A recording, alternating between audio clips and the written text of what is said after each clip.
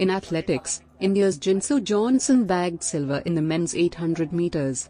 From being baptized on a mud track in his village Chakkittapara in Kozhikode district of Kerala, Jinson Johnson has come a long way. Today he is Asia's top-ranked 800 meters runner. After shattering the 800 meters and 1500 meters national records recently, his confidence is on an all-time high, which reflected in his performance during the Asian Games race.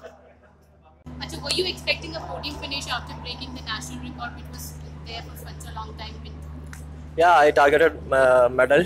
Um, I'm very happy because India won uh, gold and silver in uh, 800 meter. This is the first event uh, we got both uh, the two medals.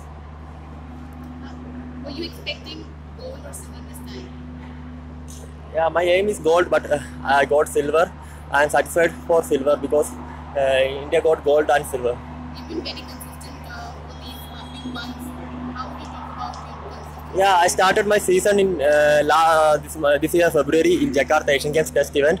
Uh, that time I did uh, 147.98. Uh, this is my second competition in Jakarta. Um, I love Jakarta because I did uh, two medal here. How many Asian Games you? Yeah, first one. This is my first one. The first Asian Games and you got a medal. You must be very happy. Yeah, yeah, I'm very happy. I'm very happy. And who would you dedicate this medal to? Uh, Uh, I dedicated Kerala people who work against the force.